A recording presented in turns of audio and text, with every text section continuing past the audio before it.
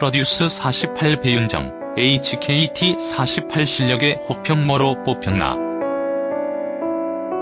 프로듀스 48 배윤정 트레이너가 일본 연습생들에게 혹평을 쏟아냈다. 15일 밤 11시 엠넷에서는 프로듀스 48이 첫 방송됐다. 프로듀스 48은 한일 양국의 연습생 96명이 한일 걸그룹 데뷔를 목표로 서바이벌을 펼치는 프로그램이다. 이날 HKT 48은 준비한 무대를 선보였지만 아쉬운 실력으로 안타까움을 자아냈다.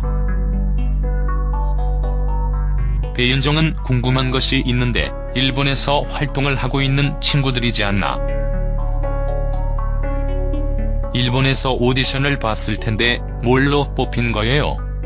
라고 물었고 HKT 48은 심사는 노래와 춤이었다라고 답했다. 배윤정은 군무가 하나도 안 맞는데 뭐를 연습했다고 하는 것인지 잘 모르겠다. 일본에서는 칼군무 이런 건 중요하지 않은가요? 라고 물었다.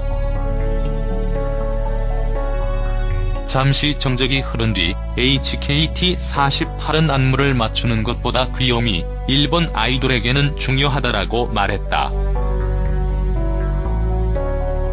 이후 트레이너들은 문화의 차이구나라고 이해했지만 일본 연속생들은 한국 연속생들과의 실력 차이를 뼈저리게 느꼈다라며 눈물을 쏟았다.